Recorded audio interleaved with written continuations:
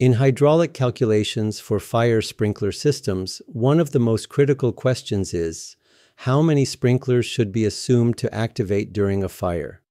This assumption directly affects pipe sizing, required flow rate, and pressure distribution throughout the system.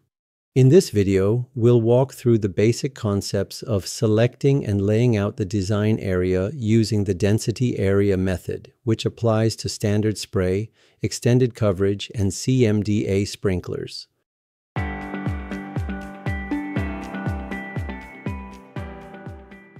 Imagine a room filled with combustible materials and plenty of oxygen, but no sprinkler system. If a fire breaks out and no action is taken, it will rapidly spread and engulf the entire space. However, when a fire sprinkler system is installed, we aim to control it, limiting its spread and containing it within a defined area. The area where the fire is expected to be contained is known as the design area or the area of sprinkler operation. This area is determined through extensive fire testing and is based on the occupancy hazard classification. For storage occupancies, it also depends on the commodity configuration. NFPA 13 compiles these parameters into detailed tables, figures, and design criteria to guide system designers. For example, according to Table 192311 in NFPA 13, in light hazard occupancies with a wet pipe system and a horizontal ceiling with the height of 21 feet, if the sprinkler flow rate meets the minimum design density of 0.1 gallons per minute per square foot, the fire is expected to be contained within a 1,500 square foot area.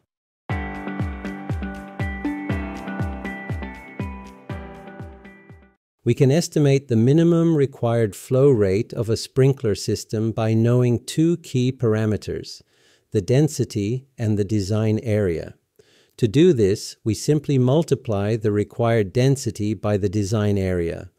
For example, in extra hazard group 1 occupancies, NFPA 13 specifies a minimum density of 0.3 gallons per minute per square foot and a design area of 2,500 square feet.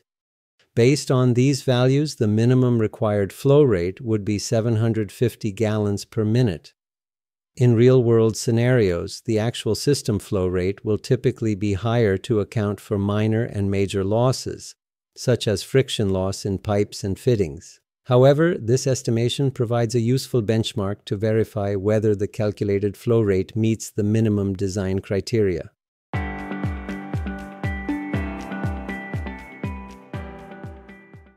Another important application of the design area is determining the number of sprinklers expected to activate during a fire incident. When sprinklers are uniformly spaced, we can calculate this by dividing the design area by the coverage area of each sprinkler, typically determined using the S by L method. For example, if the design area is 1,500 square feet and each sprinkler covers 100 square feet, then the number of sprinklers in operation would be 15. It's important to note that if the result is not a whole number, we always round up. For instance, if the design area remains 1,500 square feet, but each sprinkler covers 120 square feet, dividing 1,500 by 120 gives us 12.5. In this case, we round up to 13 sprinklers to meet the design requirements.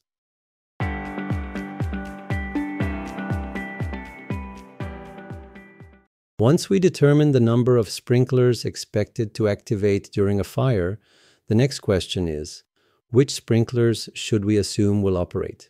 In other words, what is the shape and layout of the design area? In general, the design area is assumed to be a rectangular shape with the length of the rectangle parallel to the branch lines, measuring at least 1.2 times the square root of the total design area. NFPA 13 requires this because branch lines are typically smaller in diameter than cross mains, which leads to higher friction loss. This reduces the available water discharge along the branch line path, making it more vulnerable to fire spread. By extending the design area in this direction, we account for the worst case hydraulic conditions and help ensure the system can control the fire effectively.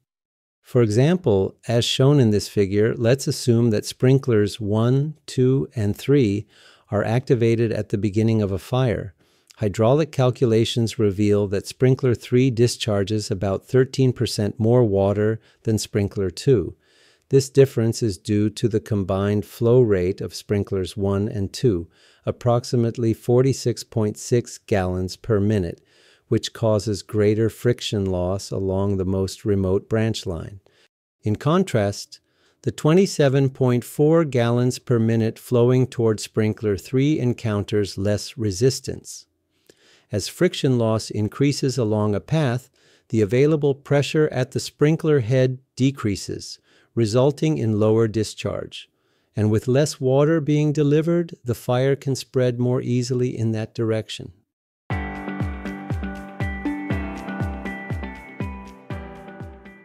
Another important aspect of the design area is its location.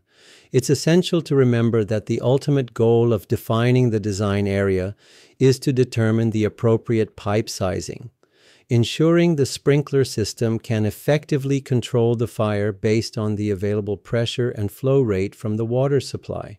If we select the design area near the water supply and size the pipes based on that location, the system may fail to perform if a fire starts farther away.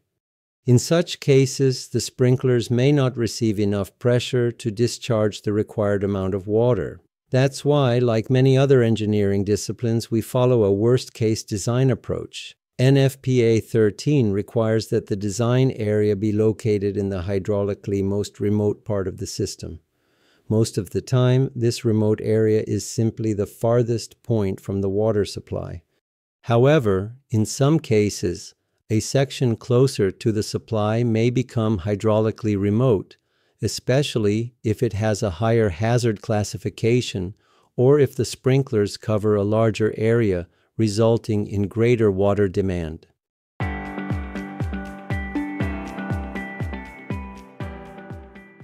In this example, we're locating the design area within an ordinary hazard group 1 occupancy, where 70 standard spray sprinklers are uniformly spaced. The spacing between sprinklers along the branch line, or S, is 13 feet, and the spacing between branch lines, or L, is 10 feet. The first step in determining the design area is to calculate the number of sprinklers that are expected to activate during a fire. To do this, we divide the design area, which is 1,500 square feet, by the coverage area of each sprinkler. In this case, the coverage area is 130 square feet, calculated using the S times L method. Dividing 1,500 by 130 gives us approximately 11.5 sprinklers, which we round up to 12 sprinklers. Since NFPA 13 requires the design area to be located in the hydraulically most remote part of the system, we'll select these 12 sprinklers on the left side of the project, which is farthest from the water supply. Next, we need to calculate the number of sprinklers on the most remote branch line. We've already reviewed the formula for determining the length of the design area. It should be noted when the spacing between sprinklers along the branch line is equal, we can find the number of sprinklers on that branch line by dividing the length of the design area by S. If the result is not a whole number, we round up to ensure full coverage. Now that we've calculated the total number of sprinklers in the design area as well as the number of sprinklers on the most remote branch line, we can begin locating them on the layout. When sprinklers are installed at the same elevation, have equal coverage areas, and protect the same hazard occupancy, the farthest sprinkler is the hydraulically most remote. This is because the water traveling to that sprinkler experiences the greatest pressure loss, making it the most challenging point for the system to supply. By selecting the other three adjacent sprinklers on the most remote branch line, we complete the total number of sprinklers required on that line. Since we need to reach a total of 12 sprinklers in the design area, we should select four additional sprinklers from the second and four sprinklers from the third most remote branch line. As we've seen, this example was relatively simple and straightforward, featuring a rectangular shaped design area. In the next video, we'll review additional NFPA 13 requirements related to design area selection and explore more complex scenarios.